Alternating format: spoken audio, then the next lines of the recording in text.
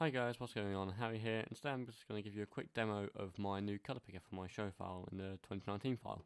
So, um, you've probably seen this colour picker quite a lot, this style, it's quite popular.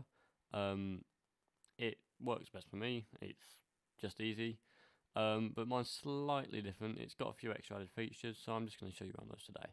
So, um, you've obviously got the normal loading, just click or tap on a screen, and you can select your colours, let me set them all back to white quickly.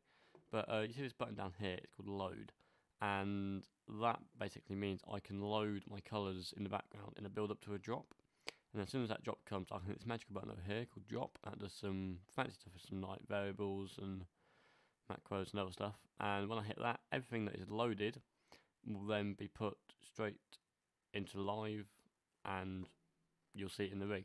So I'm just going to show you how that works quickly. So if I click my load button, and then let's say I want to load red on beams, green on spots, cyan on wash, uh, yellow on LED 1, and violet on LED 2.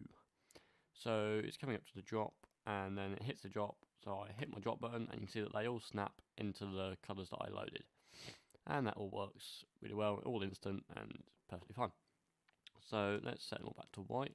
I'll show you another example. So let's load orange, fern green, uh, cyan, blue, and pink.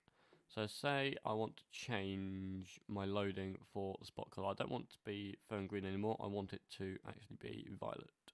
So if I click anywhere on the row, it will get rid of the loading. It will reset that row. And then I can click on violet and it will load that. And then it comes up to the drop. I hit drop and it goes to violet, not fern green. So that's pretty much it. It works really well for what I need to use it for. Um, these are all the same macros as well. The macros don't actually change. So although they do have different functions with different things are enabled, like the load button, um, they don't actually change. It's all one macro, which took a little bit of working out, but it's all fine and working. So that's it for now, and I will see you in the next video.